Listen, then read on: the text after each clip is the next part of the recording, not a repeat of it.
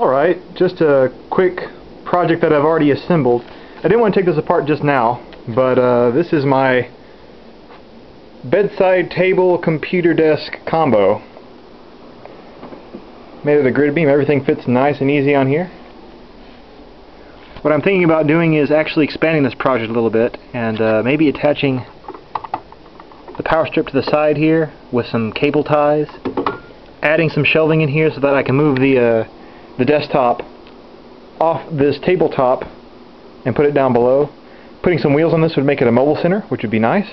And I also have a Wii and an Xbox 360 that uh, kind of need a home. So what I'm thinking about doing is, this is a 24 inch by 24 inch cube right here.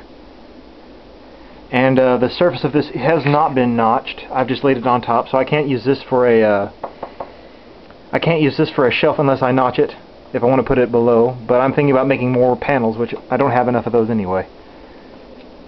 But yeah, this is uh, the way it is right now for future reference because I am planning to modify this.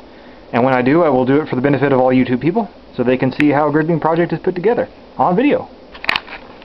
Thanks very much.